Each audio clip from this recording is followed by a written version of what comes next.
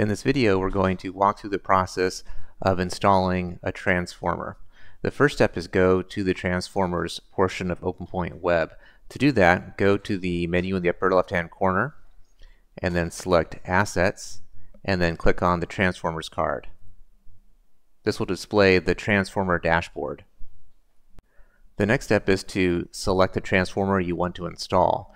You can click on any of the cards below that will show either new or available transformers and you'll get a list and you can choose from there or you can enter a search. So in this case I know the transformer number that I want to install so I'm going to type that in and it's going to give me a result in the list here and I can just click on that and this will take me to the transformer record itself. To install the transformer I'm going to now click on the install button and that will display a screen that allows me to enter information about the transformer being installed. The first thing I'm going to do is enter a date. I can put in a month, day, year right into the field right here like this or I can use the date control and click on that and then just pick from the calendar. Uh, in this case I'm going to pick the 14th here and then I'll go on to the next field which is status description. This is optional if you want to indicate something about the installation of the transformer at that particular location, you can enter that there.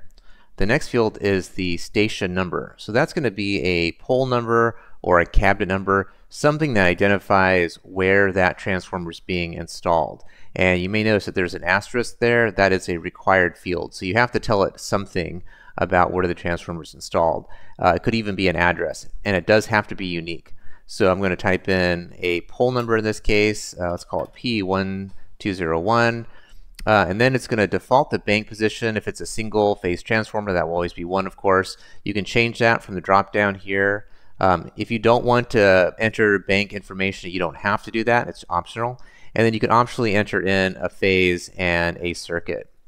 So I'll do that uh, there. And then if you want to, you can also enter in the other fields below, but those are all optional.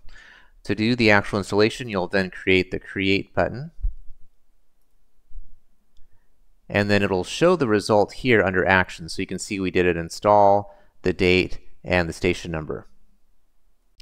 In the upper left-hand corner, you can also see that the status is now installed. And instead of there being an install button, there's now a remove button for when it's time to remove the transformer from that location. And that's all there is to installing a transformer.